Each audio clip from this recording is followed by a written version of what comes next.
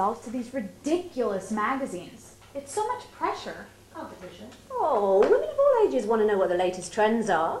Okay, but taking a test on how vegetables can increase your sex drive? Competition? I don't think so. Hi, girls. Oh, need I say more? Obviously, I've just come from one of my totally pathetic promotional jobs. Jim, why don't you just quit? I wish. It's not like we're reeling in the cash here lately, and I have bills. Acting class, rent. And your half is due tomorrow. Hey, why don't you guys take on my clinical studies for extra cash? Mm, being analyzed by a room full of other desperate people trying to make their rent isn't my idea of fun. Yeah, I guess this one doesn't really pertain to you guys anyways. It's on penis envy. That reminds me, I met this really hot guy on the street today. Only you, Jin, could meet a guy dressed like a carrot. Look, girls, I know that it's not been very good since the frickin' cafe opened down the street. Yeah, what's up? They're popping up all over the city. I read in the Post today that Donald Trump is an investor. Hmm. And he's dating the new Miss Universe. I'm sorry, did you say you read the paper? Page six. And Cindy Adams, she's my idol. I don't get it. They put a French name on a cup of coffee, charge three bucks, and people come in droves. Our society is all about packaging. Competition again, my fellow coffee slingers. Small, medium, and large. I refuse to speak a foreign language to order a cup of coffee. Well, I'm going to change. What's up, ladies? Bye. You guys are looking lovely as usual. Hi, Jamie. How you doing? Rex? Jen, what is this thing? You're like a vegetarian's wet dream. Hi, Jamie. Can we get some coffees over here? Over here? Yeah, sure. What up? What's up, Tyrannosaurus Rex? Hey, Rex. How? What's up? Hey, what's up with that costume she's wearing? I don't know, but I feel like I'm still cooking from last night. I think it's I would bad. not go out That's bad. I know. You guys want some? Jamie, where's that uh, coffee? I like watch out for tequila I don't think I see it. Come on, give me some of that. Hi. Hey. Can I get you any milk with that? Sugar? I asked for cream. Come on, you were shit-faced. You blacked out. I was not in a blackout. Yes, you were. I was in a gray out. Oh, so you remember a little bit of the party. Well, it's not gonna happen this time. You can watch me. I'll watch her. Yeah, but who's gonna watch you? I don't need to be watched. I will watch over her, and if she blacks out, I'll drag her out to the cab and send her home before somebody attacks her. Yeah, I mean, I have the drinking totally under control. It's the speed that sometimes is a Whatever. I'll take care of her, you guys. Don't worry about it. You're the best. Uh, you owe me. Ow. You guys don't know what you're talking about. I have a no-fail three-point plan. So what is it? If I told you, I'd have to kill you. Come Come on. on. Help a brother out. I'm serious. Try to use your plan. Foolproof. See what you got. Oh, you really want to hear it? Okay. Go. Lock and key after this. All right. Right? Can't get out. If this gets out, it'll ruin my rap. Spit it out. Point number one. A woman likes to take all her time to get dressed, to buy her clothes, do her hair, put her makeup perfume on, go out and look nice and beautiful for everybody. So you don't give her a chance to give you a one-word answer. When you approach her, you don't say, ask her her name, boom, done. Uh, you can ask her a yes-no question, done. Ask her something about what she's wearing, where she got it, how she looks, tell her how beautiful she looks. But not in a cheesy way, in a way like what she's wearing or the way she make, puts her hair makes her that beautiful. And then she'll love to go on and on and on about telling you. Point number two, when she's telling you, listen more than you talk. If you're listening all the time, they love it. They think you're totally into them, everything's fine, everything's set. And just nod and smile and just absorb everything and just take it in and enjoy it. Point number three, and this is the oldest, but you have to stick to it. Don't call before the third day. That is so ridiculous. I hate that rule. Got to. If you call before the third day, you look way too desperate. You're just trying too hard. It's like, no, you don't. but if you call after the fourth day, then you waited too long. It's a window. There's a window there, and you know you're at that desperate point where, oh, he's not. If he calls me now, I'm not going to talk to him. But if he calls that third day, you're on there for an hour talking to him.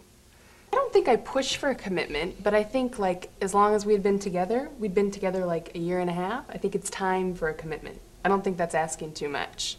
So I don't think I push. I mean, I do want to be in a relationship. I want to get married. I want a husband, but I don't think I push for a commitment. They'll probably disagree, but I don't think I do. It's been a year and a half. After the first six months, I don't think you're pushing for at least for him to call you your girlfriend. yeah. I mean, but you guys think I'm needy, I feel like sometimes. Or they think I do the wrong things when I'm like dating or. Well, that's different than being needy. So Hazel, you seem to be a bit of a commitment phobia. Yes. You gotta stay single to mingle. Go ahead. There's no point in having a boyfriend, ever. Well, you know, in the long run of things, you can settle down, but you gotta stay young and have fun, you know? Life is about meeting new people and getting out there. You can't have a boyfriend all the time. You're too young. Look at her. She's all sad. Mm, Someone left me. See, she should just go out with the girls, go dancing, you know, rub some shoulders. That's fun, that's life. I don't want some superficial relationship that's all about rules and him taking me to five star restaurants and not calling. It's all just based on games. It's ridiculous. Well, it's not based on games. It's the idea that, I mean, you're sleeping with this guy, but he still won't call you his girlfriend. You've been with him for a year and a half. At least with the rules and setting some standards, you kind of set limits for him. And then when you take the girl out, whatever place you bring her to, that's the place to be. Flawless, every time. And if it comes down to it, leave something in her house. If you don't get laid that night, you will. Leave something in her house, you have to go back for a second date. You can't sleep with with somebody on the first date. All right, now, who had the caramel macchiato? I did. What's with the accent? I'm practicing for that. scene study dialects class and the water. That hair. A southern carrot, who'd have thought? See y'all later. Okay. So it's kind of like, well, Let's, let's You know talk you're about, not doing- ladies, I'm going to ask you an opinion. Do you have an opinion on this? yeah, sure. Um, I am a psychology student. I'm getting my PhD. And actually, I'm doing a clinical study right now. I have to do this survey, and I was wondering if you guys would mind helping me for a moment. Yeah, we've Is that got okay? some A little time? Um, I've been talking with these ladies over here about relationships and commitment, so I kind of want to get a bit of how you feel about that, being in committed relationships, or are you in a committed relationship, anything like that? Well, we actually kind of overheard. We didn't Mhm. want to Yeah. eavesdrop or anything, but No, um, no, feedback's um, good. Yeah, no, we were totally listening, and uh, Totally. we uh, we we kind of had a different take on what was going on. Mm-hmm. Um, Well, share, share something, share a story. Are you in a committed relationship, or? Yeah, yeah. Okay. We both are actually, yeah.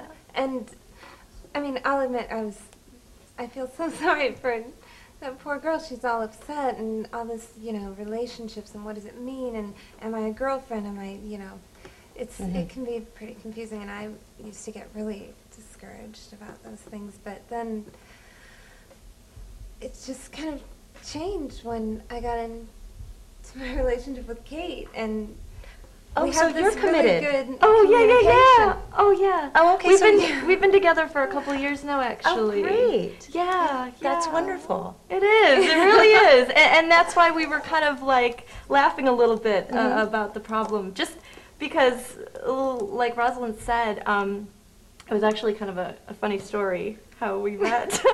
um, I'm I'm a freelance journalist, and Uh-huh. she's a photographer. And uh, we both had kind of gotten out of bad relationships at the time, and we met on an assignment in Mexico City. Can I ask you a question real quick? Were these relationships that you got out of that were bad, were they hetero relationships or no? Well, Do you mind if I go there or? yeah, that's fine. oh Okay, no, we're okay. totally open with all Okay, of 'cause this. this, this is great. I mean, it's Yeah. very helpful. Sure, sure. Well, Rosalind, I don't want to speak for you, so you feel. Well, mine was um, mine was a, a same-sex relationship, but oh, okay.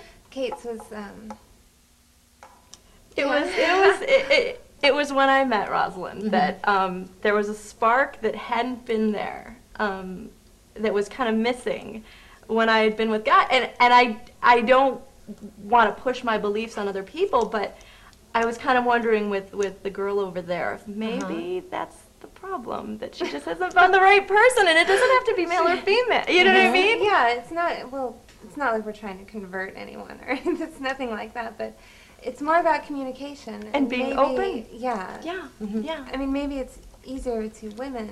You know, women are generally better communicators, but I don't. I don't know. It's, it's I, I don't think it has anything to do with any rules, or it's Yeah. just like a chemistry thing is that chick from the, from the strip club. Oh, God. I'm exhausted.